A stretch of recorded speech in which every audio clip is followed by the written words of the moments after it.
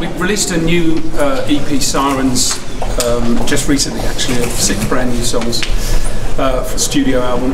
And I'm, I was really pleased with the response that, that our audience back in the UK had with that. And it, it sort of bodes well for us, really, because uh, we're going out on tour again this year and it's, it sort of remarks a full circle for us really because it's very dance oriented and very clubby which is kind of where we came in back in 1981 you know we do love playing and we, we always love to get together because you know the guys play in lots of different bands. They, sure. these are very talented musicians so it's but we, I think we all really love playing the level gig because um, we get a chance to just have a lot of fun. together